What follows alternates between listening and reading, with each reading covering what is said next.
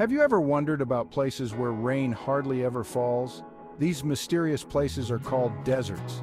They are like giant playgrounds covered in sand, rocks, and secrets just waiting to be discovered. But don't be fooled by their dry appearance. Deserts are full of life. Deserts are found all over our planet, but what makes them so special? Well, the answer is simple. Deserts are super dry. They receive very little rain throughout the year, which makes them very different from rainforests or grasslands.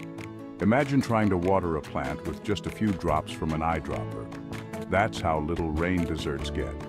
This lack of water creates a unique challenge for the plants and animals that live there.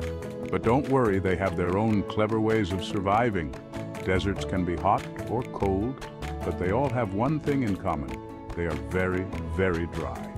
Now that we know what makes a desert a desert, let's pack our imaginary bags and explore the different types, shall we?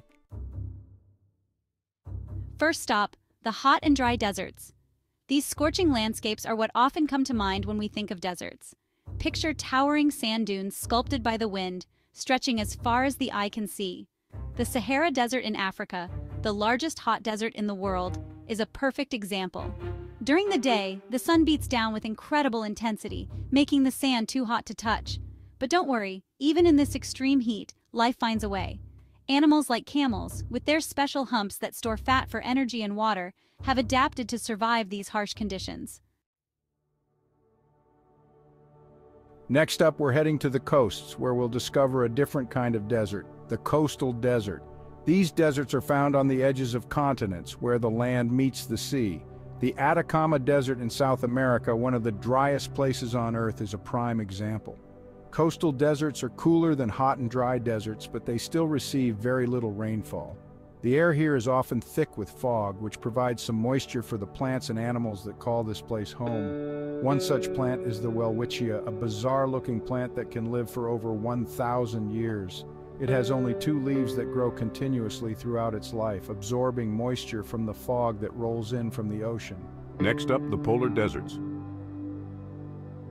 Our polar deserts are the coldest type of desert. They are found in the Arctic and Antarctic. Polar deserts are covered in ice and snow, and they have very little vegetation. Our final destination takes us to the most surprising type of desert, the cold desert. These frozen landscapes are covered in snow and ice for most of the year. The Gobi Desert in Asia, known for its extreme temperatures, is a classic example.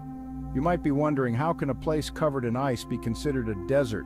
Well, even though it's frozen, the air in cold deserts is incredibly dry.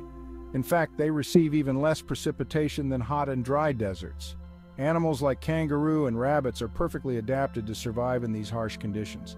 Plants are fewer and further between in cold deserts, but look out for lichens.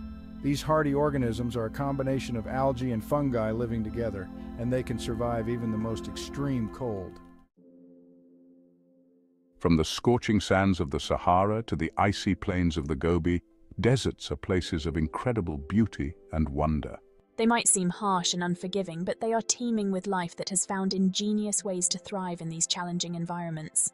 As we've explored the different types of deserts, we've encountered animals and plants that have captured our imaginations and taught us about the power of adaptation. So, the next time you think of a desert, remember it's not just an empty wasteland. It's a vibrant ecosystem full of unique and fascinating creatures, all playing a vital role in the delicate balance of life on Earth.